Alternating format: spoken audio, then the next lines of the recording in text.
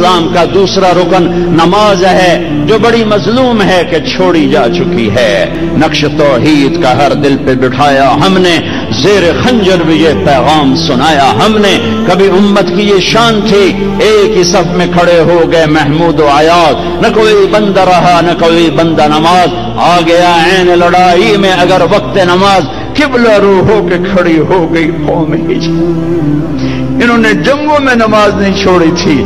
آئیے، کھانے پہ نماز چھوڑ رہے ہیں، دفتر پہ نماز چھوڑ رہے ہیں، کاروباری ڈیلنگ پہ نماز چھوڑ رہے ہیں۔ نماز نہ چھوڑنا، نماز نہ چھوڑنا۔